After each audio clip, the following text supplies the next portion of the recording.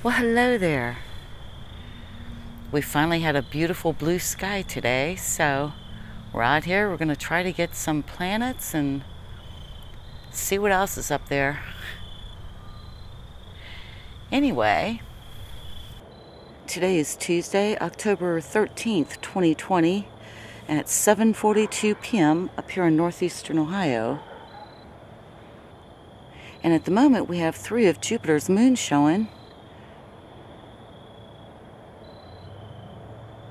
Oh, let me go change that other camera back. Hang on now. Okay, just saw a flash over to the right of Jupiter. And the three moons that are showing tonight, uh, Ganymede should be the one furthest to the right, and Europa, we might be able to see it if I it's right at the 3 o'clock position of Jupiter. So it's that little bulge there. That would be Europa. Get all the planets in there. There we go. And then over to the left we have Io, and then furthest out is Callisto. And that bright star up there, boy, it's coming in bright. It must be a star in Sagittarius. But anyway, we're going to try to get... Alright, there we go. Ugh, it's not coming in good here. But then we are at the 30X on the RA camera, which I knew wouldn't come out very well, but let me get a clip anyway. Alrighty, well, I'm not liking how that's coming out. Drat. So I have a feeling the stacking is not going to come out well yet again. Which is going to tick me off, but hey, it happens. But from here, where we're going,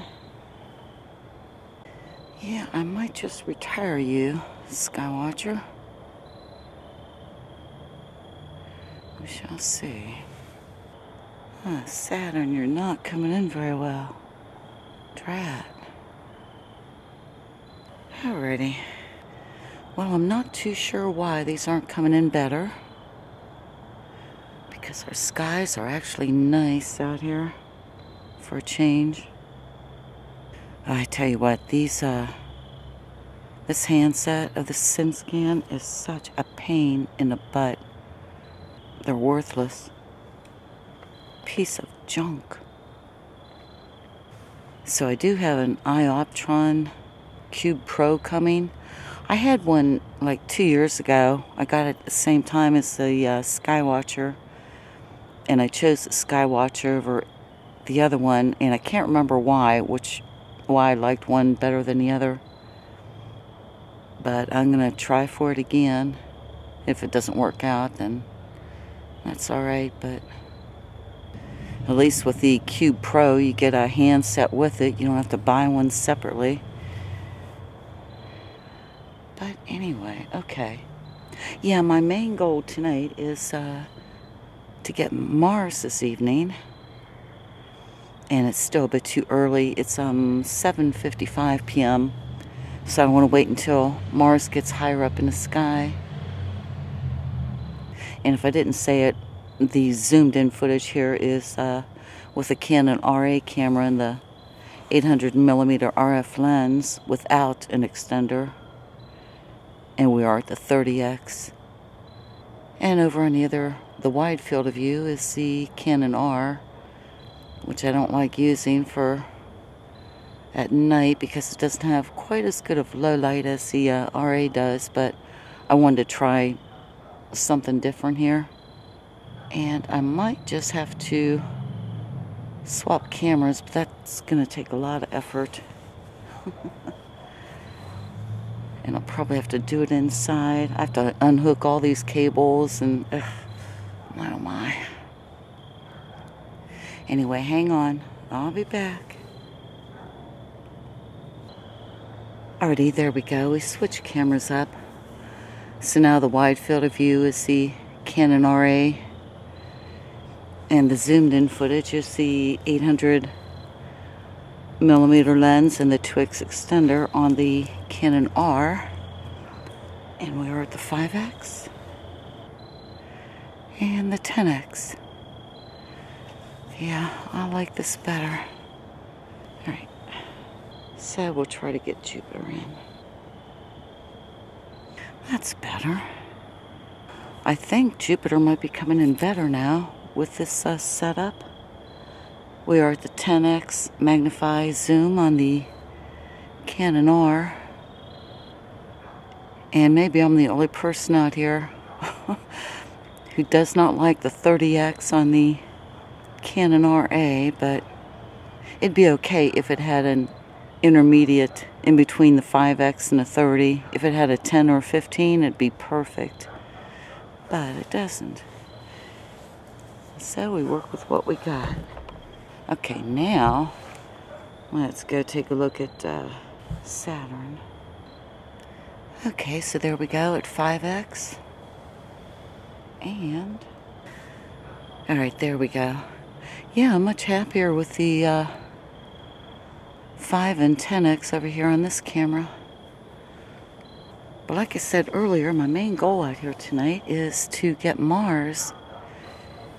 And so we're going to have to move all this gear over. So since we're facing south right now for these two planets, so we have to head over to our left try to find an opening for the uh, east. So I'll be right back.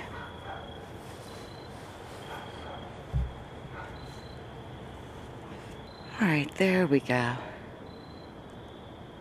So tonight, Earth and Mars are really close neighbors.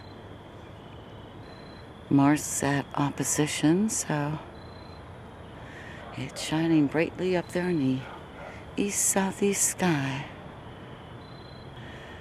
Now, I think it's still, it's pretty high up there, but I would like to get it uh, when it's even further up so there's not near as much atmosphere to cut through. Yeah, it just looks like it's too watery around the outside edges. Drat. Okay, so I'm looking over at the wide field of view, we see a we see an airplane going from right to left.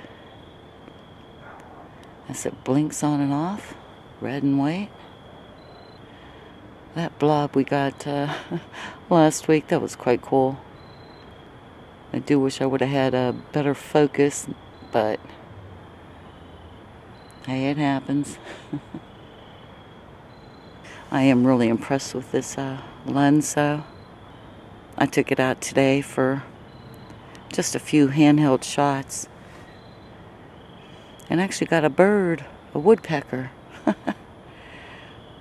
now I was really surprised that with an extender on there, F22 and the uh, camera can actually autofocus at that. I mean, that's insane.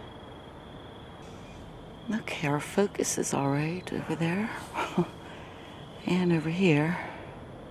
So we're just going to let these cameras run and see if anything unusual pops up.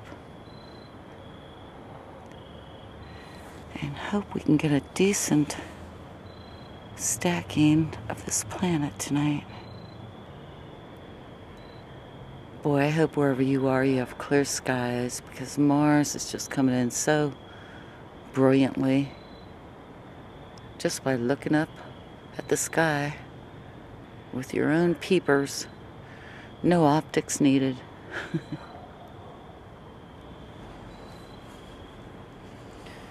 well, that was something strange floating by.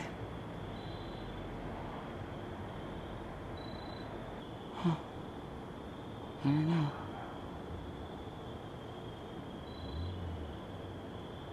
Alrighty, that should be good enough. We have way too much footage to go through, so it's going to take me forever and a day to just review it before I even start to edit. So I'm going to wish you all a great rest of your week and hope all's going well. It's now 8.40 p.m. up here. A long night. So y'all take care. Bye now.